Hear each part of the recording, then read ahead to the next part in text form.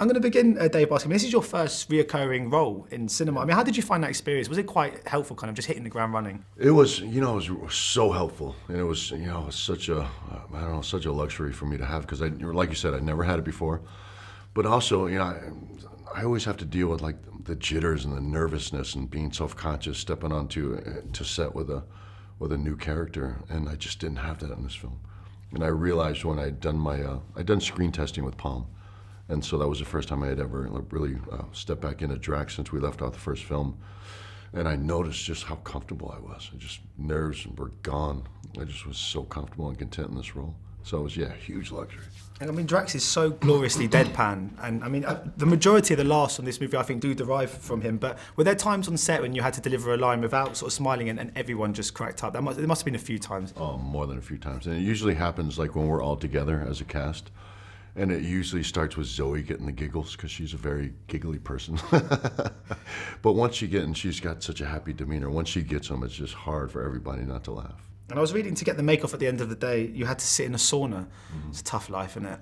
And you know, you would think that that's, oh, that's great. At the end of the day, you're getting to sit in the sauna. But you think about this after a 14 hour day, you know, you may want to sit you know, 10 minutes in the sauna, 15 minutes in the sauna, oh, to just kind of end your day and relax you. I'm in there for like 45 minutes to an hour like sweating my ass off. it's not like after about 10, 15 minutes, it's not pleasant anymore. It just becomes awful.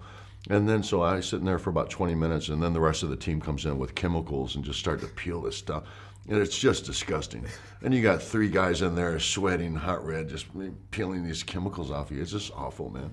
And then so you leave the end of a you know 13, 14 hour day, just completely dehydrated. You go home, get what sleep you can and you're starting. It's a uphill battle. You know, starting from the from the morning, trying to rehydrate yourself and you know get some energy back. It's yeah, it's not an easy task. You know? No, it does actually sound quite tough. Actually. No, it's awful. it's, it's absolutely awful. And it's quite, I mean, the, the, the, there's such a huge fan interest, obviously, in anything Marvel related. And I'm so, I mean, I'm sure you would have re- realised and experienced that when the first movie came out to see how much this means to people. Right. Um, I mean, can you, is it quite comparable to wrestling in that regard to see this how much passion you get kind of get from fans, more so than you kind of get in any other kind of franchise, really? Yeah, I think it's, you know, it's. It, it's hard to compare it uh, to wrestling, and the reason I say that is because a lot of the passion or a lot of people voicing their opinions uh, with wrestling will, will, be negative. They like to really speak out negatively against stuff, and, and I think it's it's a, in a different way with uh, the MCU. I think it's much more positive.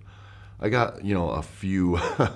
a few people here and there when I was first uh, up for the role of Drax who just people just weren't happy with it because they wanted their beloved Drax played by an actor, you know, and I wasn't really established as an actor at that point. But other than that, like after the film uh, came out, I get nothing but uh, you know positive feedback from fans. And now when I if I go to like comic conventions and stuff, which I love to do, I get nothing but love. You know, so it's really they're really you know passionate, but it's you know it's mostly in a, a very positive way. And in regards to uh, obviously Infinity War, which we're going to see Drax in again, is there, is there one Marvel character you're most excited about seeing him kind of meet and converse with? Easily, I've said for years and years and years, even before you know we'd actually been announced that we were going to be in the Avengers, was Tony Stark. I mean, it's just a no-brainer. I mean, just you know, with Drax being so kind of deadpan and literal, and Tony Stark being such a, a sarcastic smartass. I mean, it's just it, you know, it's, it makes for for good, funny, entertaining scenes. And we do sort of delve in a little bit into Drax's kind of history in this, but I'm still interested to see if Moondragon's going to appear at some stage. I mean, is this something that have you spoken to James about that could perhaps be explored in, in the in the third movie? Yeah, we. I mean, we've we've talked about it. He and he knows, and he wants to tell this story as well. It's all it's all, all about whether it fits into the storyline the whole premise of the film, and if there's just that really room to focus on that. And also, that's really getting into some really deep stuff because you know Drax obviously is suffering over the loss of his family, and also he you know he's played with the names a little bit, so I don't know how they would tell that story. I think uh, you know if anybody could, it would be him. And selfishly, I'm really hoping that for the opportunity to do that. Uh, but you know, at, at the end of the day, it's up to James Gunn and, and Marvel. Uh, just my final question. Obviously, you're still in the kind of relatively early stages of your acting career in cinema. I mean, do you find you're still kind of learning with every project? Is it still? It must be so exciting as well that it does feel like with every kind of passing role and everything, you're sort of absorbing so much. Right. No, I'm definitely with, with each role I come. You know, I come off a film with as a better performer. Uh, I take away something from from everybody that I work with. Oh, it's just funny. I think people lose sight of that sometimes. That I really haven't been in this all that long, and I didn't. I never had the opportunity to go to like drama school or anything. I, you know, when I left wrestling, I worked with an acting coach for a very short time, and then once I started working, I started working. I was I'm an on the job learning actor. So you know, I just I try to remain working, and I really do. I try to become a, a better performer. I'm very serious about it. And I think when I first started saying that years back, people didn't even think that I really meant it. And now, but I think I've proven my point by the roles I've taken and the, you know, smart character uh, characters that I've chosen. You know, I didn't go the easy route. I went I went the hard route. It's a long route.